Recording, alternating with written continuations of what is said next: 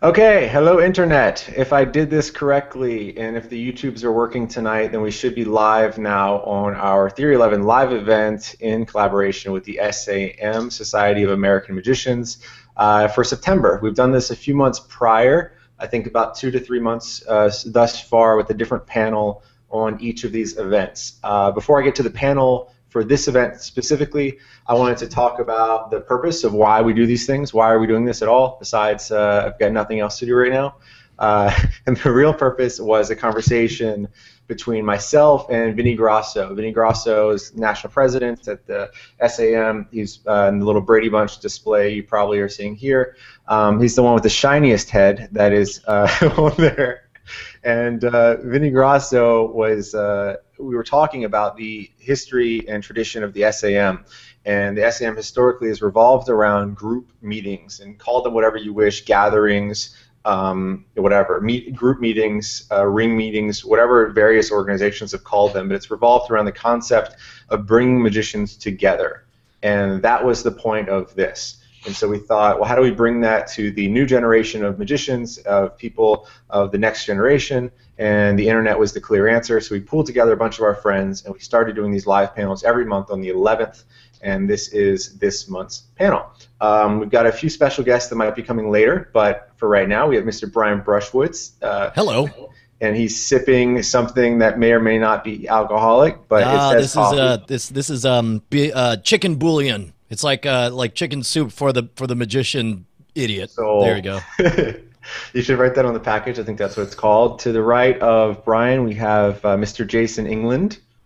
Hello? Jason's Jason's broadcasting from an undisclosed location known only to the NSA in a bunker in Las Vegas, and uh, And uh, lastly, right here to my right, uh, at least in my screen, is Vinny Grosso, who, as I just mentioned, with the SAM, amongst many other things, he's a magician, he's an author, he's a production manager to various uh, actual stage and touring show productions.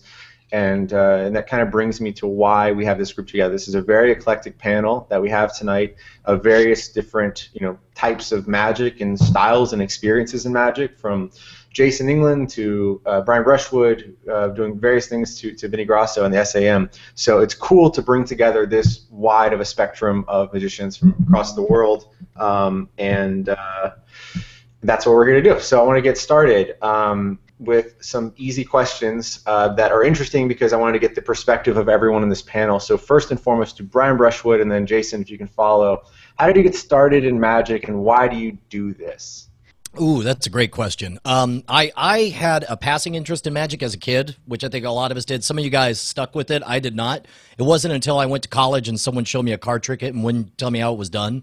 And then all of a sudden, like just out of spite, I was like, "Well, I'll show you, jerk. I'm going to learn better tricks than you ever did." And so I started on Royal Road to Card Magic, always thinking that magic would just be a side gig. I never, in a million years, thought it would be a full time job. But uh, but by the time I graduated, I had a decent little show, and it sort of just grew from there. I don't know. Did that answer the question? Yeah. Well, um, specifically uh, elaborate on the when you started shows. So, what was that process of starting actually performing? Uh, did, was that a was that a goal of yours? How did you start in your kind of college I, I got kind of bullied into my first paying gig where uh, I, I, was doing some magic tricks for free at a um, uh, like on the quad on campus uh, for, as part of an event happening and somebody who was a professional magician was like hey these are great you got five good tricks uh, i can't make my uh, regular gig at uh, at the steakhouse this Sunday. How about you? We'll pay you forty dollars to do your card tricks. And so, uh, you know, to me, is the biggest thing on planet Earth. Um, so I kind of got bullied into it. I would never have made that step on my own. But over that next year, I did, you know, just two or three little shows on the side. And then when I came, when we, when it was summertime and it was time to to go back home uh, I talked to my friend Gordon, the same guy who showed me a trick and wouldn't tell me I was done.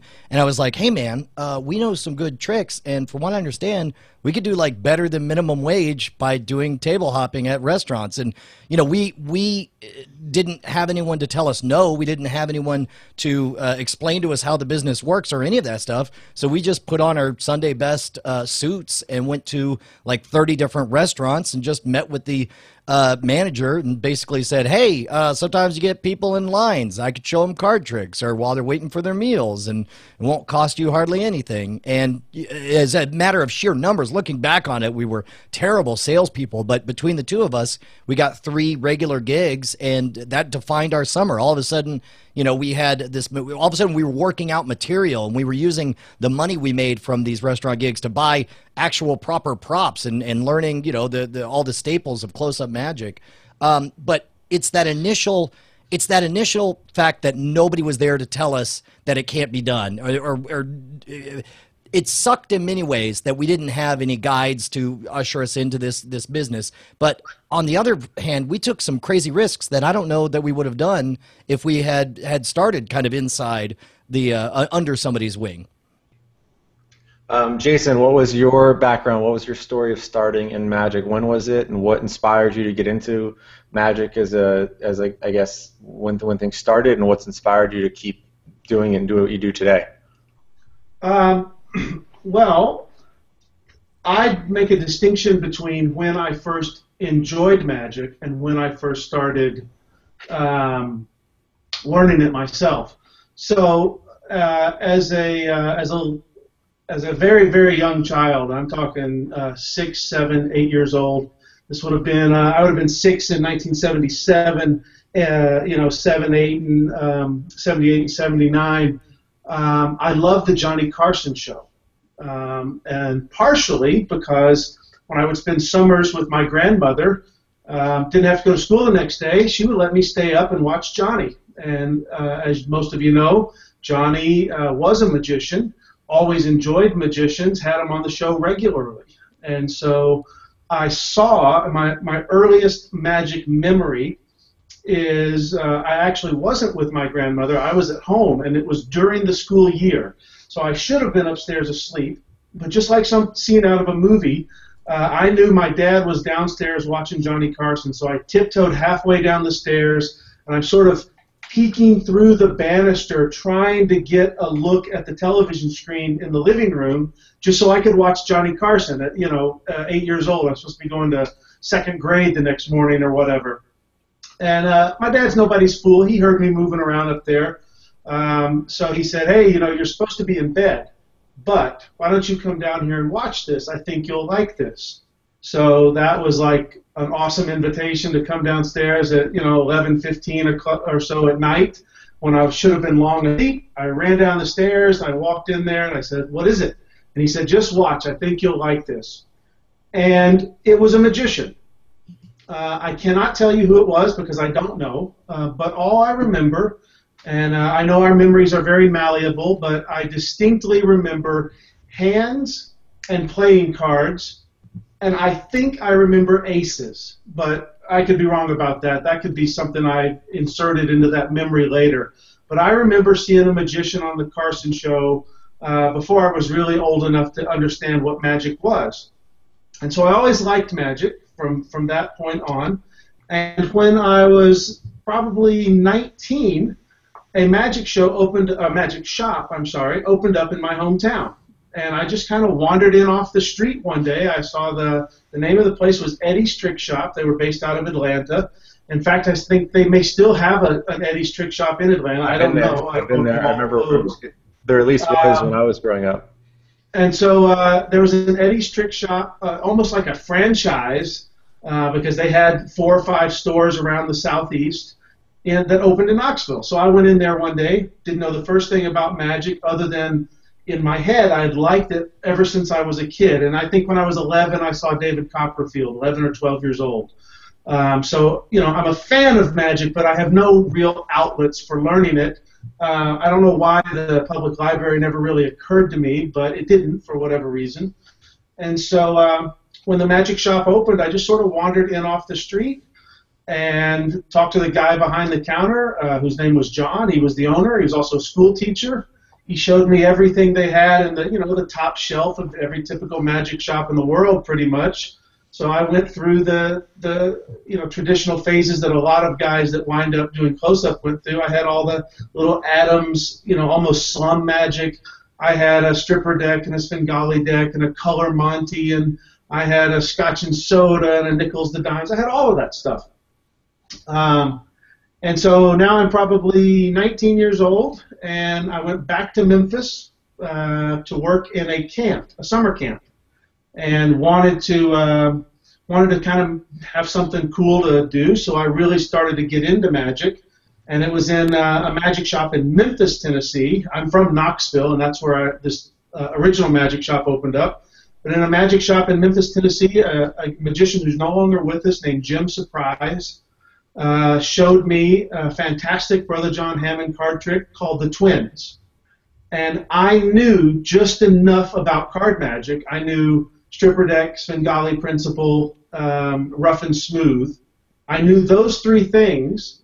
And so when I saw a card trick that, for those of you that know the Twins, is pretty incredible how much magic you get out of just four cards when I saw that trick and he let me examine those cards, and there is no stripper principle, there is no Svengali principle, and there is no rough and smooth, my head exploded. I had no idea what I had just seen. And I thought, I got to learn that. Uh, I want to learn that. Where do I learn that? He said, Well, you're in luck. Right over there on the shelf is the book, The Secrets of Brother John Hammond. It was just published a couple of years ago. And so I bought the book just to learn that trick. Uh, it was really the first real card trick I ever learned. I learned how to I learned how to do the how I learned how the trick works sitting in my car in the parking lot of the magic shop. Uh, of course, I couldn't do it, but I understood it then. Um, a week later, in a competing magic shop on the other side of town in Memphis, uh, a guy who is also no longer with us, a guy named Dick Oakley, Richard Oakley, showed me Dai Vernon's Triumph. And uh, Dai Vernon's Triumph didn't use a stripper deck, didn't use the uh, Svengali principle, didn't use rough and smooth, and didn't use the principle that Jim had fooled me with a week ago. So again, my head explodes because there's something else that I've never seen before. Uh, that trick is a miracle, and to this day, it's probably my favorite card trick is Triumph. Um, I've done it all over the world for people that don't speak English and I don't speak a foreign language, and you don't have to say a word. The instant you shuffle those cards face up and face down, they're intrigued because nobody does that. And then when you spread those cards face down, and there's that one face-up card, you know, right in the middle, you don't have to say a word. Uh, obviously, I do I do speak when I perform it, but it's a perfect example of a card trick that um, doesn't require any uh, overt communication because it says everything it needs to say. It's impossible. They have no idea how it works, um, and it's pretty cool all at the same time, you know. And so uh, I was hooked. I've been primarily a card magician ever since. That would have been summer of 1990. 19. So that means you've been a magician. Uh, you've been a fan of magic since you were when, uh, and a magician since seven. You know, yeah. So a fan of magic for 35 years, and been performing uh, magic. Um, you know, probably for 12 or 13 years now. Um, I uh, I wasn't a professional until I got out of the Air Force. Um, and uh, and started making my living doing magic. But you know, I I was a very good amateur for a, a lot of years because I had some really great teachers that helped me out a lot. Uh, but I didn't start making my living doing magic until uh, 2007. Uh, Vinny, can you chime in and share your story of how you got started in magic briefly, and how specifically how you got entwined with the SAM? Yeah, it, it's what Brian and Jason said. But uh, no, it, but in, in, all seriousness, it is. Uh, I mean, Brian said uh, about spite. I was 12 years old, and um, I was away from home over the summer. My birthday was over the summer, and I found a magic shop. I was in San Diego, and I spent all my birthday. I had like I don't know, maybe 30 bucks birthday money. I spent it all at a magic shop that was going out of business and had 50% off. And when my father got home, he was like, yelling at my mother, "How can you let him spend all of his money on on this stuff? He's not going to use it." and and all this other stuff. And uh, so, out of spite, I was like, "No, I'll show him. I'm going to use it."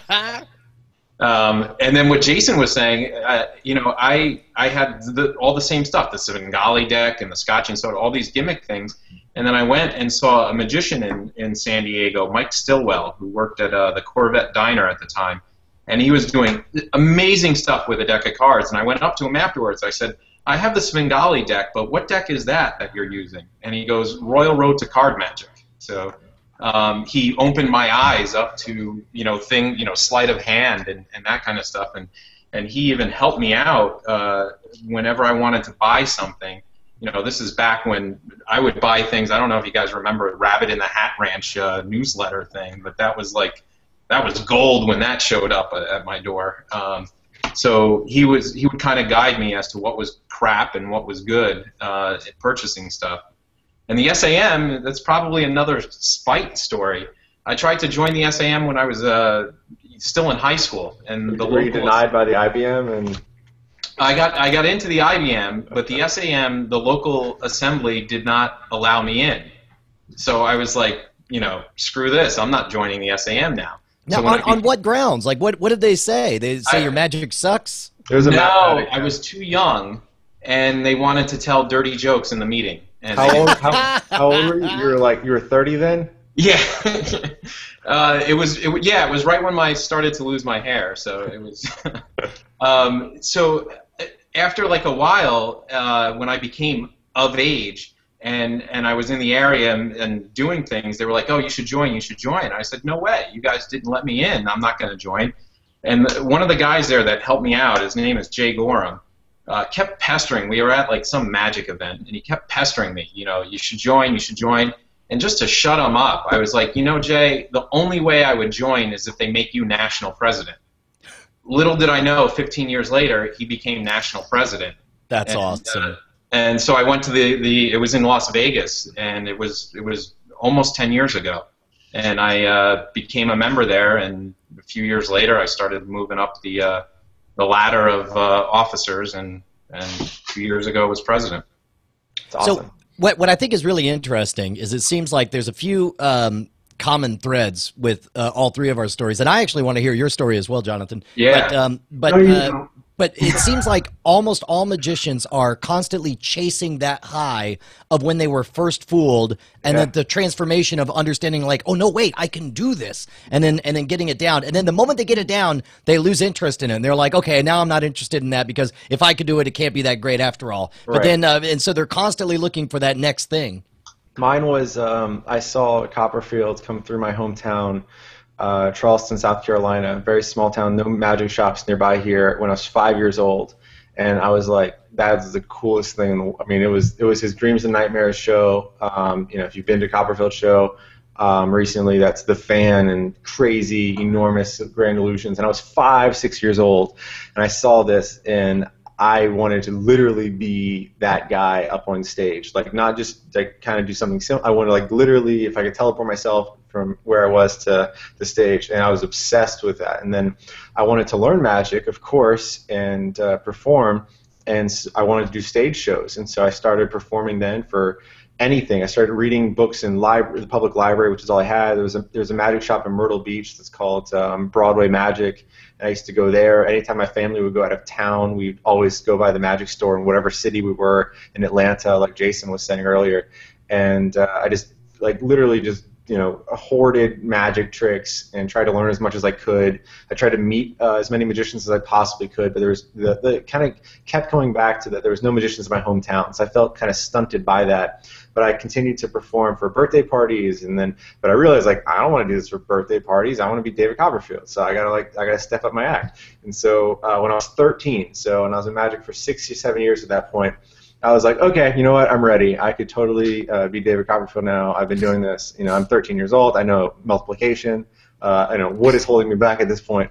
So I rented out a theater. I swear. I mean, I rented out the theater. It was uh, $550 or something to rent out this theater for a day. I saved up. I mowed lawns for a few summers, and I was I rented this theater, and it was 500 seats.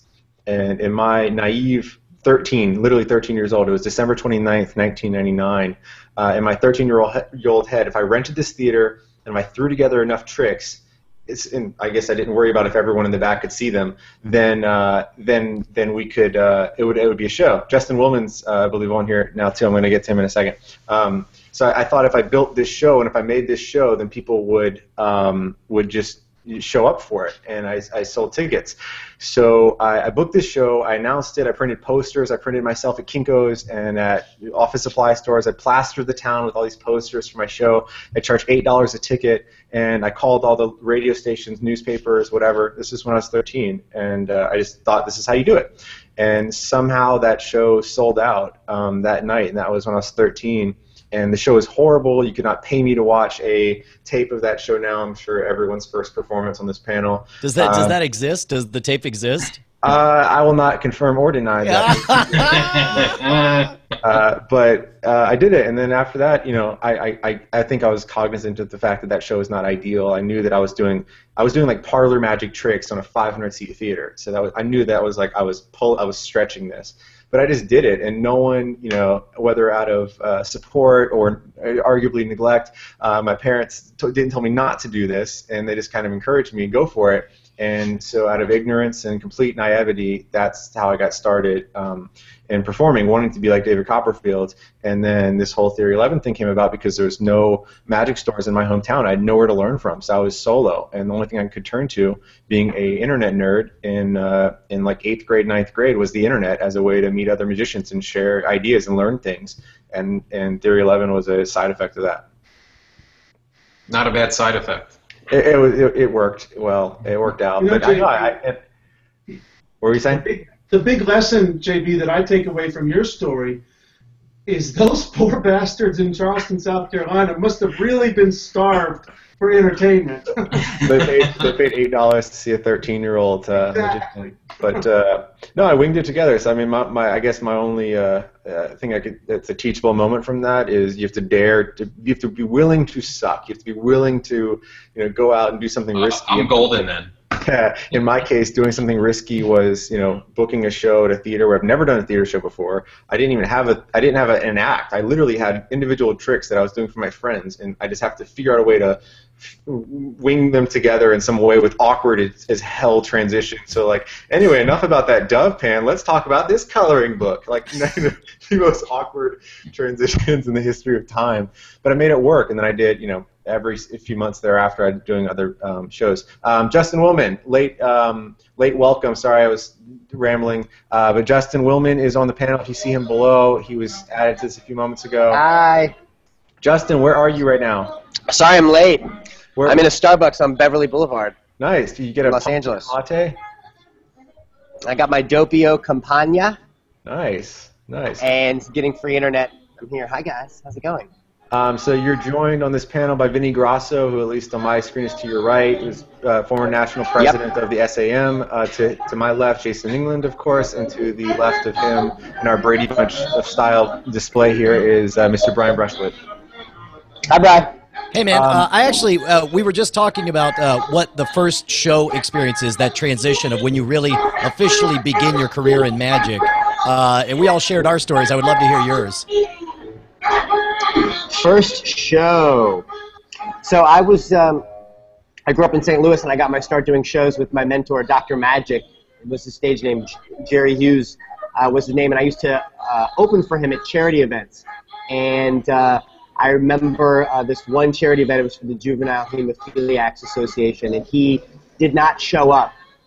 I don't know if it was intentional, if it was like his Mr. Miyagi moment of saying you're ready, but he didn't show up, so I did a whole show alone. And everything went well until I was doing the pizza oven surprise trick. It's like a die box, but with a fake pizza that the audience will see slide from one side to the other. And the trick begins by you planting the pizza on the back of a kid, and then it reappears at the end on this kid's back. So I've got this little fake pizza with a little safety pin hook and when he comes on stage, I place him on a spot and I hang this on his back. And right when I hang it, I hear him go, "Ouch!" And and then uh, and then I remembered I'm performing at a Hemophiliacs Association event. Oh, And the kid might have just gotten pricked by a pin. And so the whole re- and this was my mid midway through the show, and um, it turns out he was a sibling of a hemophiliac. He did not die, and uh, the kids were surprised that the pizza appeared on his back. But nevertheless, um, I found a different hanging method after that. Justin, can you, Justin, can you tell your story back before that of your start in magic? What inspired you to actually start magic to begin with? Uh, sure. Um, you know, living in St. Louis, I it was a great place to have a lot of great magicians coming through. So Harry Blackstone Jr. would come through town a lot, and uh, Copperfield would come through town a lot, and I'd see him at the Fox Theater in St. Louis, this beautiful venue.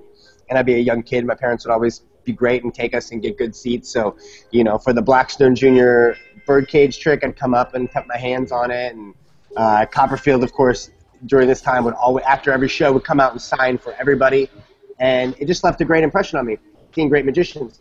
And then the the, the fad passed, and then when I was like 12, I had an accident where I was riding my bike uh, while wearing rollerblades down a hill to impress some girls, and my it didn't work out, surprisingly. The rollerblades got stuck in the gears, and I broke both arms at the same time. And my uh, re- my orthopedic surgeon recommended learning physical therapy when I got my cast off to um, uh, re- recommended learning magic as physical therapies when I got my cast off.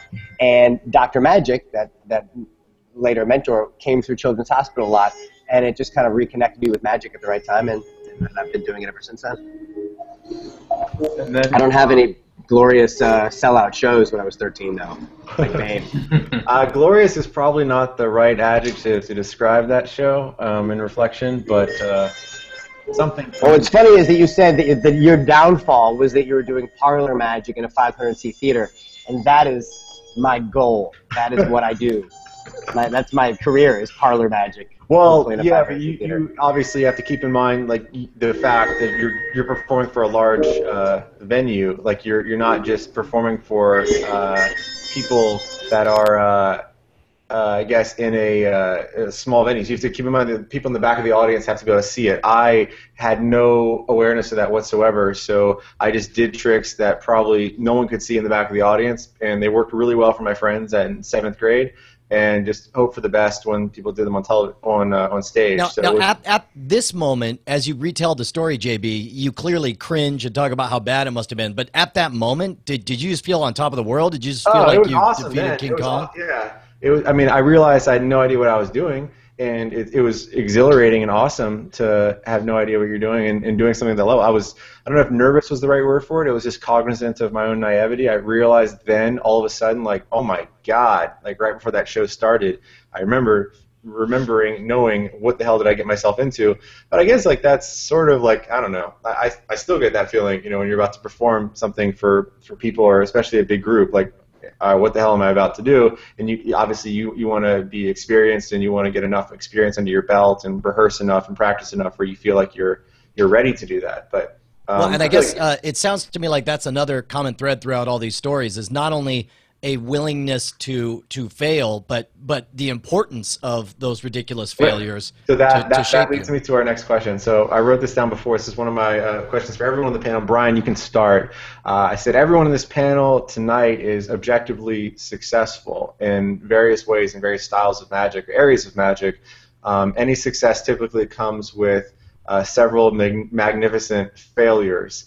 Uh, so can, can can you reflect and remember one specific epic failure uh, in a show or in something else that something went wrong or something went very badly? Yeah. Oh man, there's no shortage of those. I mean, the, one thing that that uh, sort of transformed me. Like, there, there's one routine I do where I get two people from the audience and I put a blindfold on one and put a box over his head. The other one picks a category of drawing from a bunch of cards, and one person draws a, a, a drawing, and the other person hopefully draws a drawing that match. And it's and it's not nothing's pre-set up beforehand. I just go out i pick two people. Uh, it, it relies on a number of things that are out of my control and i remember thinking as i wrote this i'm like i think this is a really good routine but i don't know what you know what's going to happen if it goes wrong. And then uh, you know for the first like dozen two dozen times it worked great. And then it got to this uh this, and it's an eight minute long routine talking about all we're going to do a scientific esp test and see about this and that and let's get this guy up. Build up build up build up build up. And then the first time it went wrong like just ridiculously terribly wrong. The two pictures did not match at all uh, not knowing what else to say i just said and that's why i don't believe in esp and then to my astonishment the, the audience started clapping and then the routine went over and it, it, it was fine it was as good as any other routine uh, but but that's the opposite of what you asked for. You wanted a spectacular failure, and I totally remember. It's a, uh, I don't know if I've told this story here. Uh, I did a um, uh, university, this big event at a festival, 900 seat auditorium, one of the biggest uh, places I'd ever worked at the time. Uh, and this is after I'd worked at a lot of colleges, and I was starting to feel really good about my show. Um, something about the West Virginia crowd on that day uh, you know, my, my show is very much anti traditional magic, anti sparkly suits, and all that stuff. Uh, turns out they were looking for the sparkly suits, and they full on did not like my show at all. And uh, as I left the stage, somebody threw an orange at at my props, and it hit it and just splattered down. And I was like, "They're throwing fruit at my stage. That that really happens." and uh, and uh, that was a movie thing. Yeah, no, exactly. But it did a, a really good job of of letting me see uh, the importance of setting expectations beforehand. In fact, it was after that show uh, the next before the next show, like like I I made it a written priority that I need to have some kind of pre-show video so that when people come in, they understand what they're getting into. It was clear that they were looking for the one thing, and I turned out to be another thing, and uh, and ultimately that's on me because you know they I didn't set the narrative. I didn't shape their expectations from the moment they walked in the door. And uh, and so now when you come in, you know, there's all these very very countercultural references and a lot of uh, all the trappings of you know reminders like, hey, you're here to see Brian Brushwood. Here's the kind of stuff he thinks is funny. Hopefully you will as well. Uh, but you know, so there was a good lesson that came of it. But man, that sucks. That sucks to have people throw fruit at your stage. I don't recommend it. Jason, have any, has anyone ever thrown fruit at you? Uh, no, um, you know, it it might be a little bit different for me because I, uh, you know, like I said before, I've only been doing magic as my living for the past, you know, seven years and maybe three or four years, you know, semi-professional before that, where I would do paid shows, but I had a day job. You know, I was active duty military for 15 years, um, and so what that meant was that um, you know, I had 17 years of practice, really, before I had to hang a shingle and call myself a professional magician. Um, and so, you know, I haven't had a lot of disastrous shows where something goes wrong. Um, the the shows where I would tell you something went wrong and an outsider watching couldn't couldn't necessarily tell is uh, it, it kind of drives me up the wall when someone is watching me perform that clearly doesn't want to be there, um, and I can pick up on it. So you know, I do a lot of uh, a lot of corporate stuff, and it's not difficult at all to see that the CEO is sitting directly across from me, having a blast. He's loving it, um, and you know, the vice president on his left, really digging it. Vice president on his right, really digging it but then there's this person over here in the corner, male or female, it doesn't matter, who's really responsible for the whole evening. You know, they've set the whole thing up. And they've got 10 million things going on in their heads and they just have absolutely no interest in what I'm doing, and that's fine. You know, they from from my point of view, they should have no interest in what I'm doing. They need to be off handling business somewhere. You know, they're trying to schedule ten meetings for the next morning. They're trying to schedule uh, that one vice president whose kid got sick and he couldn't fly in on time, and he's not getting in until midway through dinner tomorrow. And they've got audio visual problems for the thing tomorrow morning that they're dealing with but for whatever reason, they're sitting at the table with me and the CEO and the vice presidents from the different departments, and they're obviously distracted and miserable. And that drives me up the wall um, because I feel for them. You know, I don't I don't blame them. I feel for them. I wish there was some way for me to say, "Hey, we're having a blast. Why don't you cut this guy loose so he can go do whatever it is he needs to do because he's you know he's he's one step away from taking his phone out and start solving you know the problems that he needs to solve for that evening or the next day or whatever. So stuff like that internally drives me up the wall. Obviously, I can't let it show, um, but I leave those shows um, feeling like I didn't do my job. Uh, it's you know not because of anything I did, or it's not even because of anything he did. It's because it's a bad situation. You know, you in, it's like you, you came in at a and disadvantaged already. He, he wasn't wanting to be entertained, and so you you came in at a at a negative. If that's yeah. your worst performance story, though, then I've got you beat because mine was uh, way worse than that. It was like one of my first shows and uh, not the first, but it was one of the first shows. And my finale, my like my big closer, I was really excited about was the Elaine Choquette um, effect with the gypsy thread. Um, with the, if everyone familiar with this, uh, you, take the thread, you break it into several pieces. You can learn it on Theory 11, uh, and you then make the thread fuse back together again. Yeah, so you, you make the thread fuse back uh, together again. Very old effect, classic effect in Magic. Um, and I did it as Elaine Choquette's presentation of it. With, there was music and everything. This is the last final effect of the show. And I remember like walking up to the table of where I was going to perform that, and I had a video camera screen at that point where it was brought showing the audience was a larger audience. And I was like, wow, everything went right in this show. Like I nailed this one and grabbed the thread, did the whole thing, and at the very end where you go to fully extend that thread and it, you know, like an iPhone thread, it, it is now restored. Uh, it, it was clearly knotted, um, and I could not get it beyond about here. And then in my head, um, I guess the, the correct um, emotional uh, response that I had, like internally, I was saying like shit, shit, shit, shit, shit, shit. but uh, outwardly, I was like, I can get this, I can salvage this, and I just said like in my head, this is a great show. I just nailed this, and then I'm here, and this is not happening. So I do the worst possible thing out of aggravation or I guess frustration. I pull really hard, and that just tightens the crap out of that knot. so now I've got this bundle up piece of thread. It's like this long. The music's crescendoing. It's the, it's the final trick in the show, and I had, and that was it. And that was it. So what? Do you, I mean, I had no comeback for that. I mean, I tried to have a. Uh, uh, response or a plan B for everything else that I was doing. But what do you do when there's a thread? I mean, have another thread? I didn't do that. So it was just like. so, so what, what do you do? Do you pause or, or be like, let me tell you how it's supposed to go? Or uh, I, I wasn't. I had no experience. This is you know my third or fourth uh, large stage show. I had no idea of how to recover from things like that yet. I was not experienced enough. Jason England had just said he had 17 years of experience before he started really performing for paid gigs. I had about 17 minutes of experience at that point. And uh, no, I think I, I think my words were like I think my verbatim was something like Magic is this, hard. this- no, I, no, I, I think I said this is usually really cool or something and that was my that was my big response. And then you know yeah, and the music's crescendoing and like the lighting, I had like crazy lighting and stuff. And that was my finale of my show, and it was wonderful. Justin, oh, I think you have them muted. can you hear me? Hold on, hold on, hold on. Yeah, yeah, because we were having the background music. No, can't hear you. Justin, can you hear me? Maybe unplug your uh, headphones and plug them back in. See if it uh, detects. Unless you're talking. Unless you're whispering.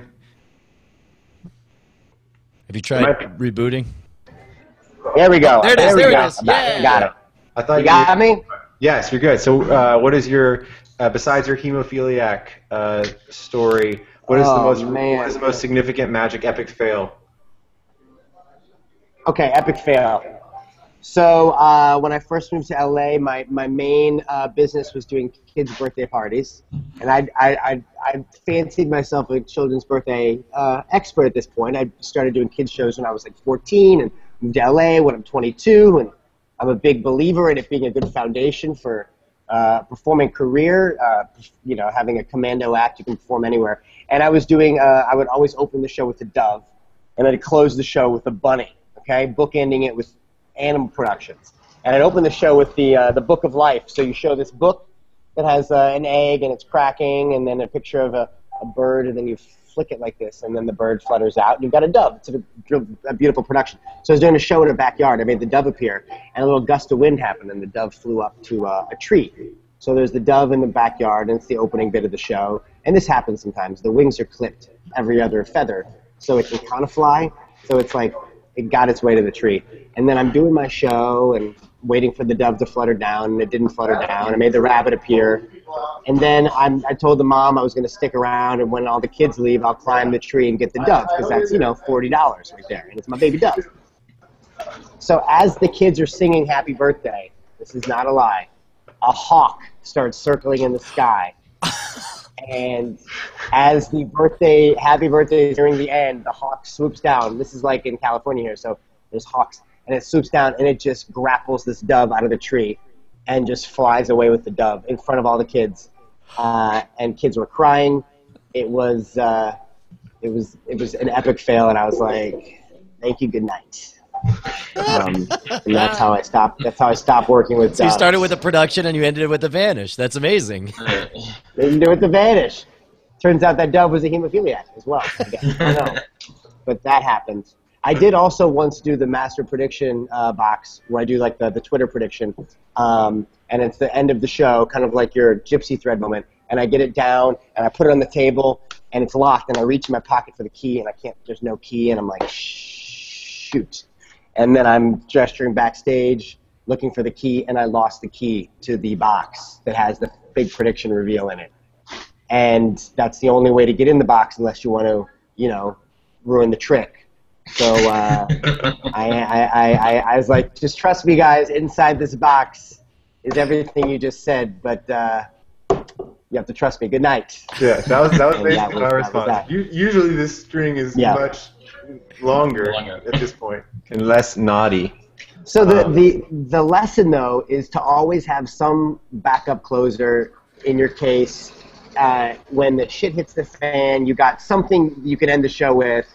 Because you know, if, if you save your best for the last and the last thing doesn't work, you're, you're screwed. So always have something there. Yes, Uh, that when is worst comes to worst. that is what I learned as well. I mean, you see, a, a, you know, Copperfield show has not only a backup of what's you know what's supposed to happen with that specific trick, but then there's a backup of that, and then there's you know other tricks and other things that he can do to occupy the audience if something's you know, happening um, and needs to be fixed. There's a backup and then a backup and then a backup of a backup, um, which in still things will go wrong. But if you have that many um, I guess, contingency plans, then the audience is very unlikely to notice anything that is drastically wrong. To the extent of my show, or like you know, you were saying, you don't have a backup to like, oh well, if the hawk comes and kills my dove, then I'm obviously what do you do? an extra dove.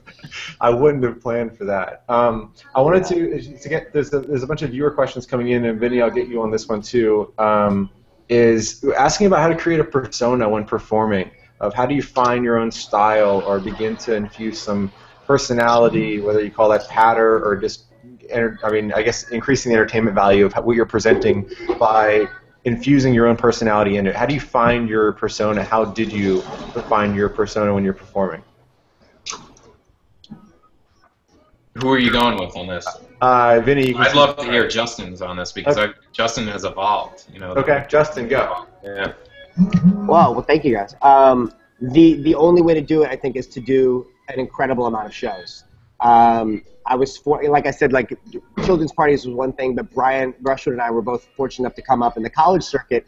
That when you get the right place at the right time, you could do a show every night in front of a fresh audience, and every night try new things and hone new things in front of a real crowd. And that's really, I mean, I, I don't know any other way. I always read about Lance Burton like having that tipping point moment where he was doing a theme park uh, one summer and he was doing his dove act six times a day.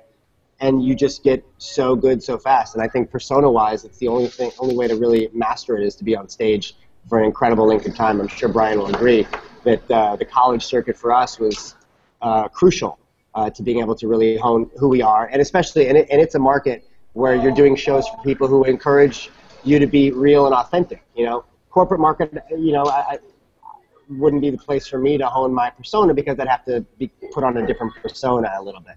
But, uh, um, but the, the, the whole can- uh, corporate shows, and I would love to, I'd love to hear from Jason on this. It, they they are such an enigma to me because you have uh, so many different audiences at the same time. You you are trying to please the person who is making the decision to purchase your show, but at the same time, hopefully, do a show that's entertaining for the crowd there. Um, do do you find that? How do you let your personality and character? Uh, what what guidelines do you have to put on that, Jason, in order to to work within those confines?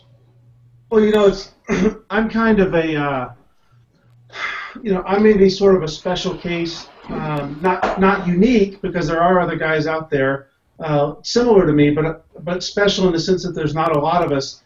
I am often hired not to do magic per se, but to do the gambling act and to pres you know present sort of a uh, a gambling slash cheating expose act. And so many many times um, I've been hired, and there's a magician working the room, walking around doing magic tricks. Um, I'm uh, in uh, at one edge of the room or in a corner at a poker table, uh, set up or something, a poker table or a blackjack table, doing a gambling expose act. And there could be a pickpocket working the crowd. I've worked with Apollo Robbins many times. Um, you know, there could be uh, some other type of performer doing something else in the room. So, so for me, it's a little bit different. But I think largely, um, corporate guys are Two minutes. um, are close enough to their real persona. For instance, if you've ever hung out with Bill Malone or David Williamson, arguably two of the best American corporate magicians in the world right now, uh, Eric Mead and Michael Weber would also be in that group. Guys that are just doing corporate shows day in and day out. Their performing personas are not very far away from their real personas at all. Um, Williamson and Malone are a little bit more hyper on stage than they are in person. But if you've spent five minutes around those guys in private, you know that they are genuinely funny. That's not an act. They're genuinely zany and you know willing to say anything at any time. That's not an act. Weber and Mead are uh, are more cerebral. That's not an act. They're really like that. You know, both of them are capable of saying very funny things, but um, but you know their their performances are more cerebral, and it's just a, it's really a part of who they are. Whereas if you look at Johnny Thompson, his stage performer or his stage persona is that of you know a guy kind of stumbling through his magic act. You get Johnny off in private, and he's nothing like the bumbling idiot. You know, he's the closest thing we have to a to a godfather of magic. Uh, if you look at Mac King, you know, he's the moron on stage that somehow is fooling you.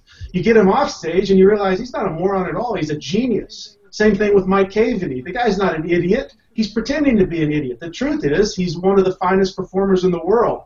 So those guys, and, and I really think it has to do with the distance between them and the audience, can create a persona that you take on and take off. I don't take off my gambling persona when I come home. You know, 10 feet from where I'm sitting right now, there are 500 gambling books. That's genuinely what There's I'm also interested there's in. also a geometry book uh, I believe I can see behind you, and one that says uh, Great geometry book, by the way. um, I- I'm trying to see what's in Jason England's secret uh, book stash. Actually, uh, quick question for Justin Willman: Did you just get kicked out of Starbucks? I got I got kicked out of Starbucks, guys. I'm on the street. Uh, I thought the lighting I thought the lighting was better out here. I think. All I saw was movement all of a sudden from the lower quadrant. Yeah, sorry. And actually, what's funny is now are. it looks like you're uh, you're on a green screen set now. This Yeah. is fantastic. I know this looks so If you go on a roller coaster Hollywood guys. I don't even know it's that. Hey, JB, can I? So, so uh, as far as as far as like practical advice to uh, to anyone getting started who's trying to figure out like you know who am I in magic, the best article I read and and I cannot remember if it was written by Penn or Teller. Uh, I want to say it was in Genii magazine in the early '90s. Talked about how you should let hate, not love, be your guiding force, and their point was uh, for me, it, it, it really struck true because I loved Penn and Teller. Ever since I was in second grade, I wanted to be Penn and Teller. Uh, and essentially, what the article told me is don't try to be Penn and Teller. If you do, you'll just be a pale imitation of Penn and Teller. You'll be Penn and Teller. You'll be you'll be a, a picture of Penn and Teller, and your act will suck. You want to be good, then be the opposite of everything you hate because uh, there is something new and undiscovered in you that uh, that that needs to be there. And so, uh, to be honest, that's that's the bulk of where my act came from. Uh, once I decided to go professional, is is I would learn a trick and I'd be like, ah, that is so stupid. That's the dumbest line. Nobody who would say that in real life. And so it's like, and then I I would just, you know, there's this kind of anger at, at or I don't want to say anger, but but this frustration at magic that that kind of comes through throughout the, uh, the my entire stage show now, and that was all born out of you know what do I hate in magic? What am I frustrated by in magic, and how can I be the opposite of that? And so if you start with that very counterintuitive question, I think you'll find some surprises. Talking about um, uh, working in Magic and people, you know, getting started working in Magic, I see a lot of questions uh, both in this chat and also there was one in our forums yesterday of people asking how do they get started working in Magic? How do they be become successful in Magic? And obviously, for the people watching this who just do Magic as a hobby or just like performing for your friends, there's nothing wrong with that. It's no more or less valid than anything else performing Magic. There's incredible guitar players that just play, um, you know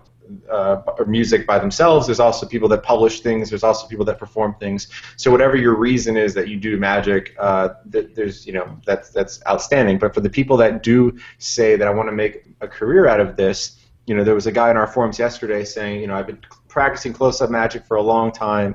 I really want to start performing in uh, fine hotels, like nice hotels and four and five-star resorts. And I'm assuming he was, you know, that's inspired by like the Steve Cohen type of performance. And Steve performs in the Waldorf Astoria in New York City, and has done the show for over a decade now. But I think that comes from a place of, you know, thinking that Steve Cohen just walked into the Waldorf Astoria one day and was like, "Hey guys, I do magic, and I would like to you know, render my services for your fine establishment. When that was not the case at all. I mean, Steve Cohen, I know for a fact, worked on that show uh, and invested his own money into it for years and years before it ever was remotely successful in any in any event. Um, before he was the millionaire's magician, he was probably the thousandaires magician and the hundredaires magician, and you know it's years. Before that, of he was the hobos magician. Yeah, he was the the, uh, the hobo magician, but uh, and you know he worked his way up and he honed his craft. And now, if you've seen Steve Cohen's show um, at the Waldorf, it's extremely polished, and you know you can tell he does that show uh, five to ten times a weekend. Um, and you can just tell that level of polish in the show. Similarly, if you see Copperfield's show, David just finished um, 165 shows over the course of 11 weeks straight without a single day off in that process of 11 weeks. So doing that many shows uh, is obviously going to hone your performance craft. But how do you become successful? Like, how do you keep hitting something until you actually achieve a level of success in it? What advice would you give? I guess is the the question to someone that's young or someone that's not young who currently does not do magic as a profession or for work and they want to, what advice would you give to them, Brian Brushwood? Um, set written goals. The closest thing to real magic that exists in the world is the power of the written goal, and uh, post them in the shower where you'll see them every day. Post them in the uh, on your mirror where you'll see them every time you brush your teeth, and uh, uh and in your office uh, and make them specific and read read all those cheesy books about success because your first year of doing this you are going to need to get fired up and stay fired up. So do all the the cheesy motivational courses learn all the tricks about self affirmations you know do things like what, what Jim Carrey did, you know, write a check to yourself for a million dollars with a date on it, set deadlines and solve problems and realize that that you are you have to work hard all the time, and um, and that's the end of it. And and and, and embrace that. I think yeah, it's it's about keeping up that fire within yourself of having a goal, knowing at least what you want to do. That's the first step. What do you want to do? What what would be your dream? And is that really your dream, or is that because you saw someone else doing it and it was their dream and you thought it was you know neat and interesting, or is that really like within yourself that is your dream that you cannot stop thinking about you know for months and months and months?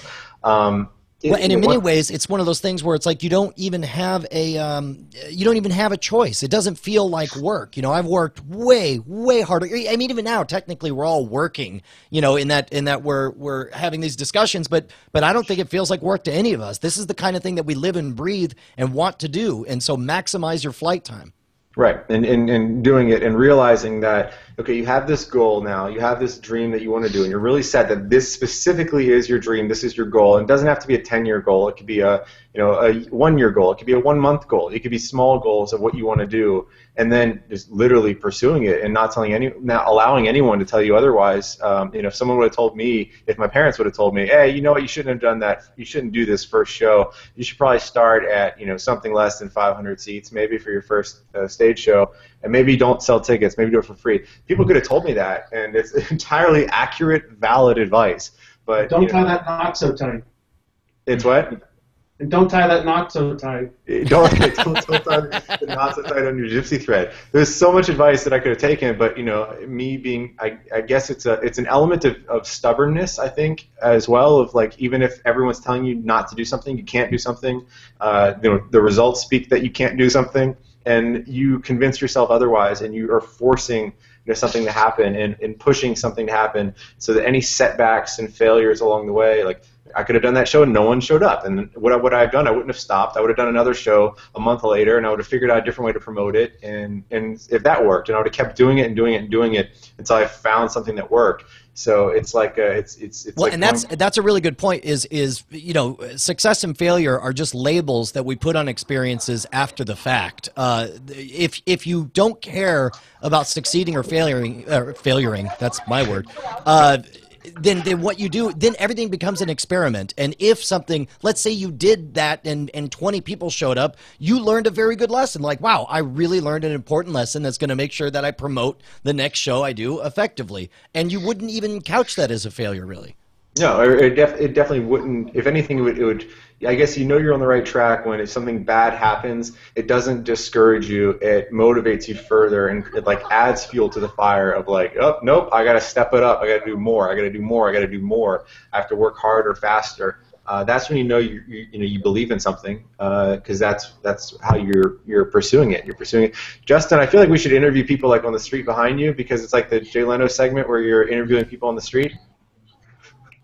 Yeah, we. I, I don't know if you saw the Papa John's truck, but I think we made some money from Papa John's with that advertisement. I'm gonna actually Um, order. you know, I was going to say about this, this whole this whole conversation. I think the one thing um, people who want to, you know, be successful need to remember is that the people who they look up to, um, the people who they see doing their thing, they get they're they're get, getting to see the final product, and what you don't see is like the massive amount of hard work that goes into it. So people need to have this realistic knowledge that like they need to bust their ass so hard, and it's going to be grueling, and it's going to be not glamorous, and it's going to be really hard for a long time before you even get close to that time, that area of success. Like you said with Steve Cohen, you know, we, we see we, we see the success story, and we don't often see about Steve going broke, mortgaging his house, risking everything, probably having his wife think he's crazy. You know, uh, all these huge risks and these these dangerous things you do in order to achieve that success.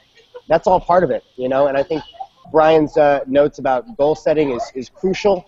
And uh, you know, uh, I, I'm a big believer that if you really want it, you can't let give yourself a fallback. It's kind of all or nothing, and and you'll you'll you'll figure it out if you have no other uh, choice. And this uh, is interesting. worth- worth. The point about my story was, uh, I'm, this is when, when I really wanted to be a performer in Magic. Uh, it was, it was my deadline was when I was 18, and that's why I started really young and really fast because I, I, re- I realized that if I was to go the traditional route of going to college, I did not, uh, or become a doctor, become a lawyer, become whatever.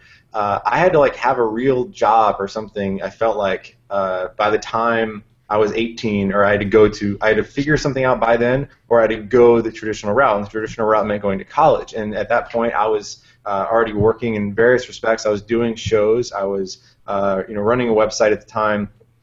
Uh, this was before Theory 11. This was when I was 18. So that I, I kind of put a, a deadline on it for me. Like I've got to get my act together, not literally act together, but my personal act together by the time I'm 18, or I've got to go traditional route. I've got to go to college. I've got to become a lawyer, and then Magic's going to be a plan B. I did not want that to happen. I did not have a plan B. So I had until you know when I was 13 to 18, I had five years to figure this thing out and, and put something together. I think that's what also lit some fuel under me. Is I had a deadline um, for it, and and it kind of lit everything up. So every day was is, was crucial because I had five years to figure something out and and that was my life. This was not a, a game. It was not something fun. This is what I wanted to do forever.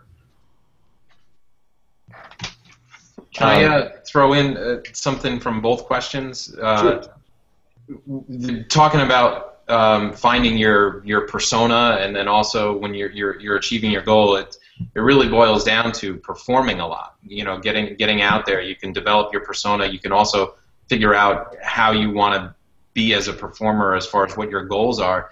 And a lot of times we get the question, well, how can I get shows? How do how do I do shows? And uh, here's uh, an outlet that you can do it. Uh, the SAM has the Veterans Program, where we coordinate volunteer shows at VA hospitals and, and things like that, and we can help you set up the shows. They're happy to have the shows. They're great shows. It's great experience, and it's it's it's a win-win. They get entertainment, and you get experience. So it's it's a really cool uh, kind of program that we have, and and, and, and doing yeah and doing shows often. I mean, I I, I used to do shows at a uh, restaurants for you know walking up to tables and and doing things like that, performing for friends obviously as much as I possibly could because I knew the few good advice um, notes that I had from the time. My mentor since I was 13 was Chris Kenner, and um, he would give me advice, and his his advice was you know don't isolate yourself to the magic community. Realize you need to be bigger. So you know, I, I never entered myself in uh, magic competitions and stuff like that at, at conventions, um, or put a lot of emphasis on that because I wanted to, you know, I, I wanted to be a performer well outside of the magic industry, um, and I wanted to create a reputation for myself. So I did that, and uh, I, I performed a lot. He, I mean, Chris's advice to me when I was really young was you have to perform an unbelievable amount to have any level of, of experience or polish on your show. And if you go see Copperfield show today, it's a living testament to that. Like you know, this it's just polished to an unbelievable degree. If David's going to have someone sign something, uh, a, a specter up on stage, his hand goes like this, and a sharpie just you know is placed in his hand. So that show is choreographed to the second, like unbelievable clockwork. Jason can testify to this because Jason's brother Zach uh, works uh, for the show for for Copperfield. Um, and, it, that, that's just practice and rehearsals and rehearsals and rehearsals and rehearsals of rehearsals until you know something gets put in the show, but not obsessing over it too much where you never do anything. Like you have to actually do. Eventually, you're gonna have to take the risk. Eventually, even if you're you know uh, performing at a birthday party or you're Copperfield, eventually you can only rehearse so much. You can only practice so much, and then you just have to do something. And people are asking in the comments here, how important is a support structure? Uh, for me, it was important to have a, um, you know, my parents were supportive of what I was doing um, to a degree. I think I was really young then, so it wasn't. It was just like, oh, that's fun, magic's nice, yeah. Uh, but I don't know if it was if I would have gotten that same thing if I was you know older and saying that this is what I want to do with my life. Um, Well, I, uh, you know, growing up, my parents always said, you know, do whatever you love, do whatever makes you happy. And so I just grew up assuming that's what everyone's parents said. Like, oh, of course, mom is gonna just gonna say that, whatever. But then when I got married and said, yeah, I, I want to quit my job to do magic for a while, all of a sudden I realized that not everyone's parents says that. You know, uh, they're like her parents. I, I believe the phrase at one point, like uh, Bonnie's mom was just indignant. She was like, "Well, I, I thought when you got married and he was going to be working at Dell, and I think he married you under false pretenses." And uh, and it was like it was a it was a problem. There was tension until uh, until I did the Tonight Show, and then they were so proud of their son-in-law. Uh, so, but uh, yeah, man, it's like not everyone has that support. I found out. I was at. Uh, I went to the. Uh, I have season tickets to the Jets, which is a, kind of a miserable experience. But um, at the game, the there was the, the people sitting behind me. It was a father and uh, his nephew and his uh, niece. That, but they, they were like my age, and the and the. Uh, I guess it wasn't the father, but anyway, he had hit the tailgating pretty hard, and he was trying to set me up with his his niece and then he asked me, "What do I do for a living?" And I said, "A magician." And he goes, "Okay, forget it." Just ended it right there. Well, and that was uh, like uh, my friend C.J. Johnson, my, my business mentor. He uh, he said that uh, the very first thing his uh, you know his his now wife uh, when she mentioned you know that that she's dating this guy who's a magician, first words out of her dad's mouth were like, "Oh, they have a great retirement plan." And it's like I don't know, man. It's, at the same time, obviously, everyone everyone in this story turned out all right. So screw you, haters. There's a, uh, a good question, Brian, that is relevant to you because, and, and to me especially. Uh, someone's asking uh, Bunny Chase Three on YouTube, saying, "I've been asked to create a magic club at my school, but I don't like the idea of teaching secrets.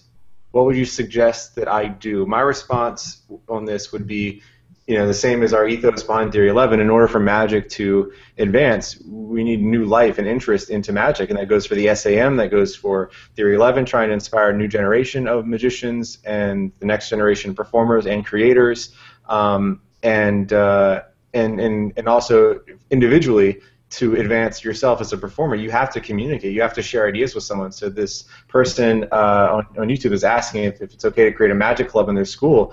That would have been the best thing in the world for me. I would have loved that when I was a kid. If I had someone else that like I didn't have to like bribe to watch this trick for the eighth time when I was practicing it. So if you, you have the ability or someone else around you, a friend that you can get interested in magic and to collaborate with and share ideas with and practice things on, that's incredible. So I would absolutely say go for it. Did you have? And, and, well, and I'll say I'll say this much: the the best year for me learning magic was was the years that I um, uh, that I worked at and taught magic at uh, Camp Island Lake Sports and Arts Center uh, up in the Pocono Mountains for two years during uh, during the summer. They had a fantastic magic program. Uh, I got to be a counselor one year and teach classes. I did, you know, and I was only I was only eight months into my magic career, and here I was teaching magic to kids, and nothing nothing galvanizes uh, your your you know your skills like having to demonstrate them and and teach them to other people. I mean, the the real treat for you as the teacher is that you're going to learn a crap ton more magic that way. Uh, as far as like you know, I don't want to teach secrets or whatever.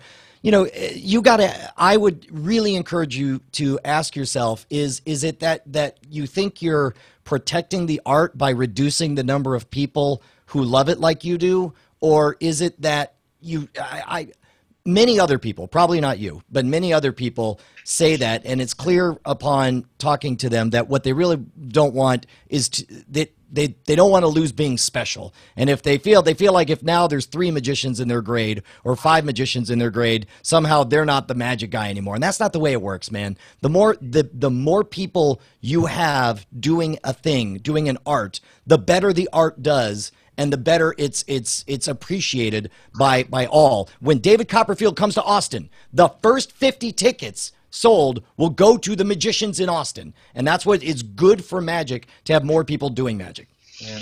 Hey, JB, there's a there's a pilot program going on in the SAM for colleges right now, and and it's not being done by you know geezers in the SAM. It's it's a bunch of kids that are Wilder.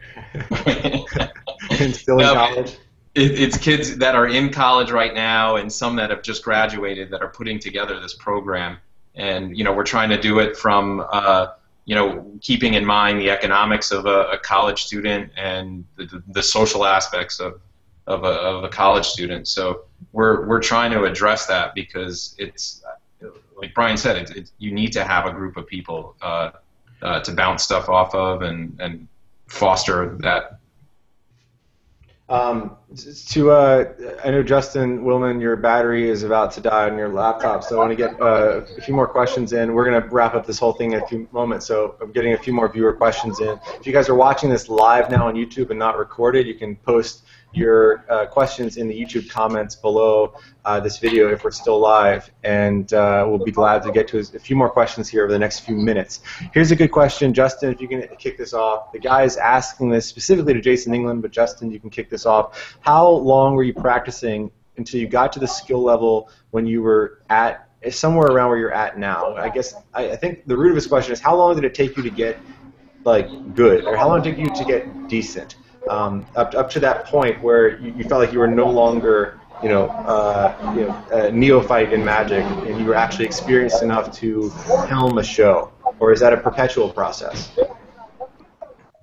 You know, for me, that I think probably be very different than Jason's answer because I what my my show isn't uh, as technically demanding. I'm not really a technician. I'm, I'm my sleight of hand is basic. I'm more of a showman. So I think my technical skills that I do right now, the card moves, the, the sleights, are things that I learned in high school. And, and then after that, I took those, and then it was just a matter of two decades of learning how to be a showman and an entertainer. So technically, uh, my, my magic skills, you know, uh, you know, four or five years of practice.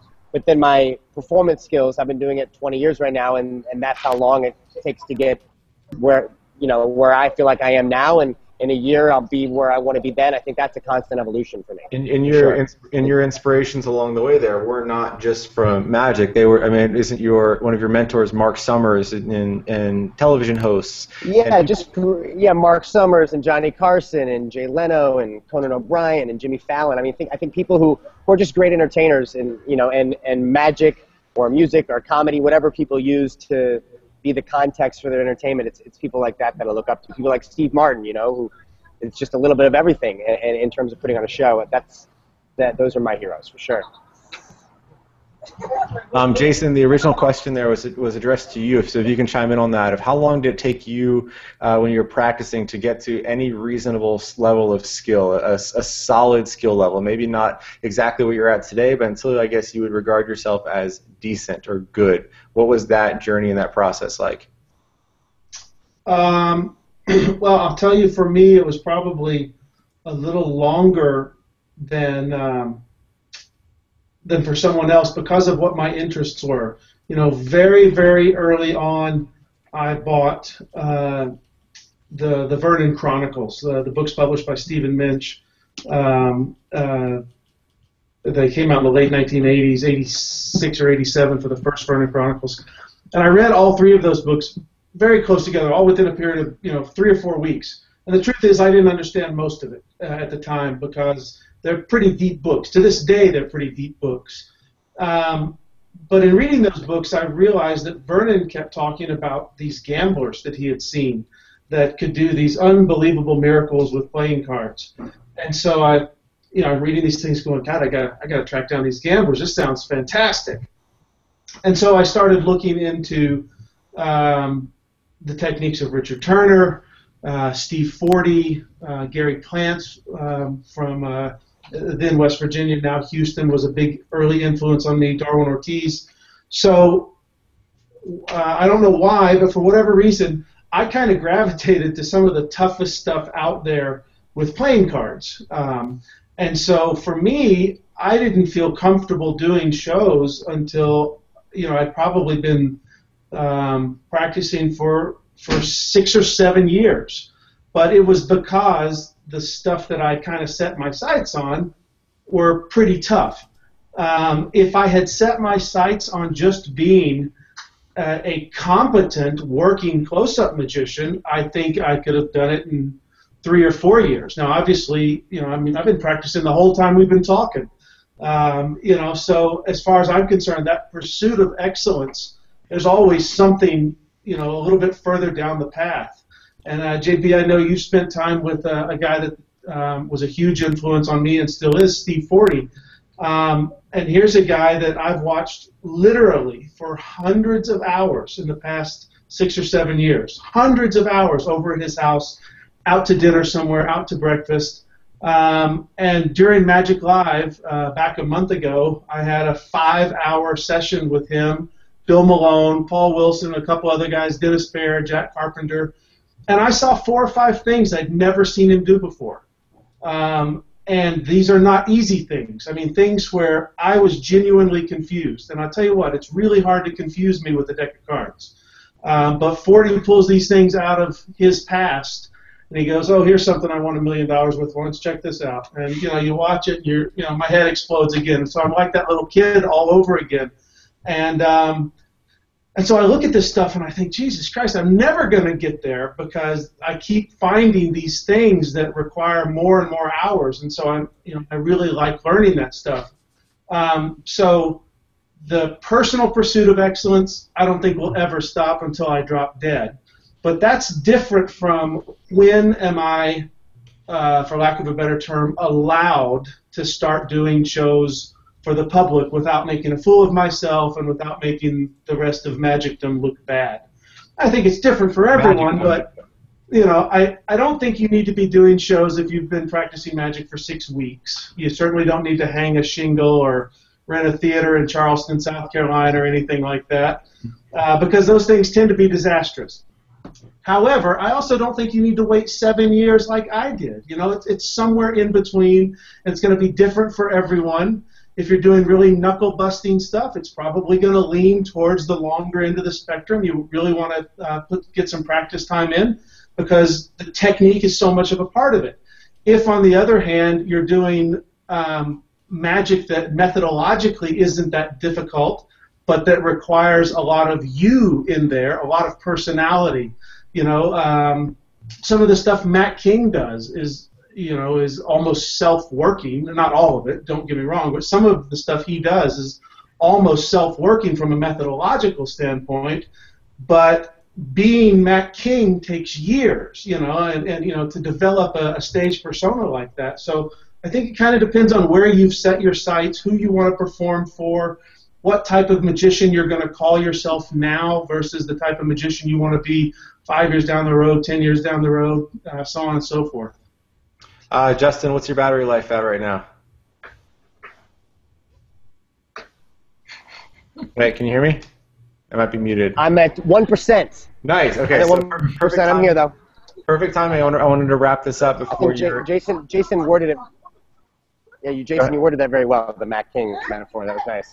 Um, I just wanted to, to you know, wrap this up before you, Justin, your battery dies and you're forced to eject yourself. Um, but uh, this was this, this was great. I hope that you guys watching this on YouTube, we got to a good number of questions. We had a, some very good substantive questions. So it wasn't about the quantity of questions as much as hopefully the quality of questions this go around. Um, but this was great. This wasn't our third or so panel that we've done like this. We're going to do another one next month uh, in October, the same date on the 11th at 11 p.m. with a different panel, and uh, and take more questions. So definitely tune in next time. And, and before I go, I wanted to thank uh, first and foremost uh, Vinny Grosso. Um, on this because the whole genesis of this idea of getting magicians together uh, came from the SAM and it came from a conversation I had with Vinny Grosso of how to bring uh, the next generation of magicians together, especially an eclectic spectrum of magicians like are on this right now. So thank you to Vinny and to the SAM, and we just lost uh, Justin Willman,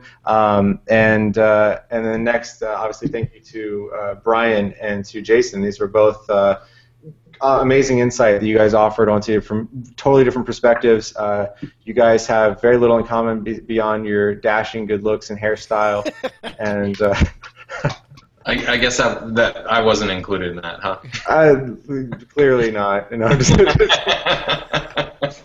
no, JB, thank you for uh, putting all this together. I mean, all, all these things, you've done so much work putting it together and moderating it really well. So you're it's doing a it's job it's, it's I think it's it's you know for, for me it's it's inspiring to to just to hear from you guys like you and uh, Jason and Brian and Justin and in the past we've had uh, Steve Cohen was on the previous ones uh, Chris Kenner um, Caleb Morelli Dan I'll White tell you what, man, you're pulling out all the all stars, and then for some Yeah. reason keep inviting me. How do you think I feel?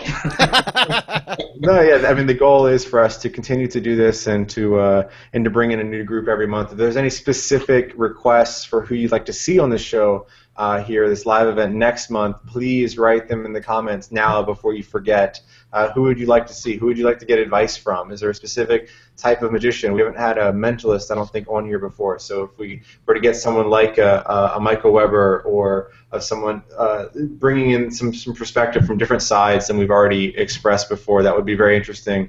Um, if there's any special requests, definitely write them in. Um, and, uh, and thanks to, to Brian, you've been on uh, I think every single one of these alongside myself and uh, and Vinny. So it's definitely appreciated helping to not only offer insight but uh, helping to moderate these things too and keep the discussion going and interesting.